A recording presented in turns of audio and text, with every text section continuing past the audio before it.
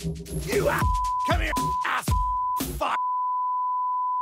You want to be more extravagant? I'm Travis J.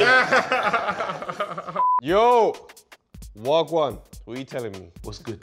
Don't know why I said that, because your camera. Bruh, spill my drink. I'm Travis J. I'm KG. I'm drunk though. This, this is like number eight. Regardless of what you say in the show, drink responsibly, yeah? Turned up over there. You man, are, you man are looking like you're hella turned. What you saying? So are you, bro. Bro, you are looking crazy. But definitely, if you're drunk, give us some history, man. All right, let's talk. What you know about Len Johnson, bro? LJ. Ab- absolutely nothing. We're gonna talk to you today yeah, yeah. about mad history. Len Johnson, fam. Middleweight boxing man. Uncrowned champ. That's Uncrowned what we're king, bringing to you. Yeah, what you saying? Tell Travis. man, tell man about it, man. KG, Mm. uncrowned champ. Boom! LJ. 1902 is when he was oh born. Manchester. He's like, I go work in a factory. Goes to the factory, someone's in there, and obviously, like, he's being racist. He said, You're black. You can't work here. You're having a laugh. You're having a bubble bath, mate. And he's like, but I'm Len Johnson, because he knew his name. So they started scrapping. Okay. He gave him the backward fists. And he went, back, back, back, back, uppercut. All right. He's asleep. That's what the crowd was saying because Good. the crowd were gassed. Crowd was excited. Smoked his colleague, finished. All right, so boom, hear this now, yeah? Mm. He's turned pro.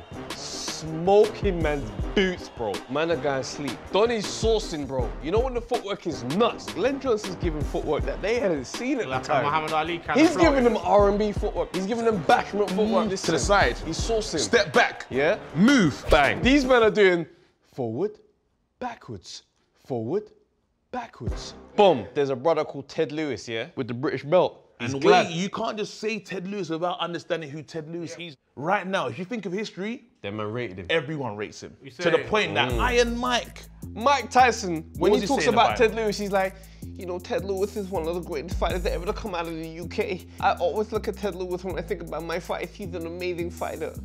that's how Mike Tyson was giving up. So it's a big fight. Boom! The fight's happening. Rumble in Mancunia. Yeah? That's what I'm calling it. so now they're in the ring. Understand, yeah?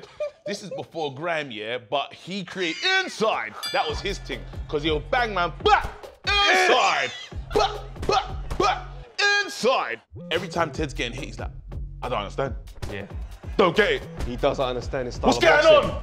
They was that. upset, bro. They never, they haven't seen this before. Len's just underneath it. Rolling. Rolling. Underneath it. Slip, slip, slip. Later, he smoked his boots. After the fight now, Len is walking around saying, Where's my belt? Where's my belt? Where's my Then belt? somebody comes up to him and says, "Hello, excuse me, sir. Um, the belt that you won, you didn't actually win because um, that belt actually belongs to the champion because you're not white." What was mad, yeah? In 1911, British Board of Boxing Control, they had the colour bar rule, influenced by Winston Churchill them times, yeah? Basically, if you, to fight for a belt, you need to have two white Two white parents. parents. Can you imagine like- how that is? You can't even fight for a belt because So- your skin color is darker No. than other people's skin color. So- He- Hear the thing though. it gets deeper. Ted gets his belt back. And Ted's like, obviously, I'm white. I deserve the belt. They said, unfortunately, Len, we are unable to give you the championship belt. He looked at the boxing border control in the face and said, You man, all you man, boxing border control. He run off, come back again and said, No. Nah, you in the back. Big. One in the back was the most violent. The one in the back was a. He said, I'm gone. I'm getting Australia. So he's gone down under. Yo, mate, you're black. We don't care. Come in, let's fight. No one's expecting him to win this belt. That's right. But, bah, shut up. All right. Smoked him.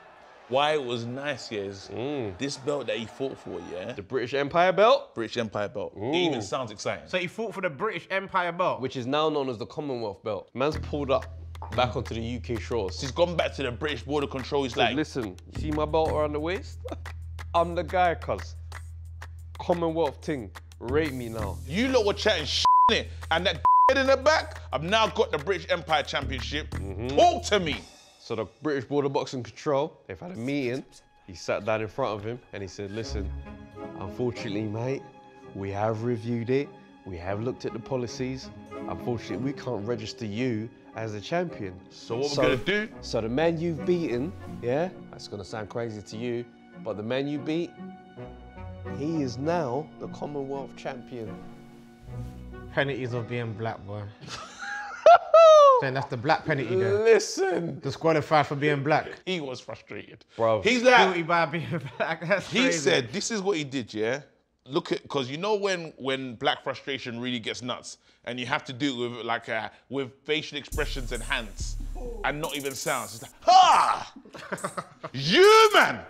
I fought bare rounds, you know, and now you're moving mad. This boxing thing is dead. Done this thing. I retire. He cut. Yeah? So now he's not living the boxing life, he's going down the pub. So imagine Saturday night, he's at the pub. He's like, listen, babes, what are you telling me? Let me get a couple pints for the man them. Okay, first things first, I know you babes. You're black. Rah, that's mad. All right, don't worry about that. Let me get two pints, one Disaronno, one Coke, because he's a d- over there. You're not, you're not drinking it because it's rules. And you are coloured. Babes, I'm big Len Johnson, you know. Give man a juice. No. Get out! Raw. So Len Johnson stepped out. He's like, you know what? This is mad. I'm not having that. I'm Len Johnson. So he phoned the man then. My guy, what are you telling me? Boom! What's good, cuz? Big man. Mm. Listen, I need you to round up the man then. We're What? gonna- How many man? What, 150, 200? Whatever, you, 150 man. whatever you can do, bro. Say nothing. Yeah, We're gonna yeah. pull up with 120, cuz. Calm, that's fine. 7.30 p.m., we're gonna run up on the pub, bro. They're trying not to serve man drinks. They, What? know- a know whole man you? A whole man with a British Empire belt? Say nothing. Big me, bro. Yeah, Put- yeah. I'm putting down the phone aggressively. Lovely. Bam! Calm. Obviously, 120 man's coming. I need more man in it. So I need to phone my white allies. Hello, is that Gary? Hello. Hi. Hello, mate. How are you? Hi. Lenny. Good to hear your voice. I trust you're well. I'm not well, actually, because I've heard what happened to you. That's unfortunate. Listen, mate, 7.30 p.m. If you're around, I would love to tackle an issue I encountered earlier on today. Okay, where is that the same pub? I'll send you the information via Telegram. See you All later. right, See you later. Bye bye. Take care. Put Ta-da. down the phone less Bye-bye. aggressively. Boom. Less aggressively. Less Okay, aggressively. cool. 7:30 p.m. rolls up.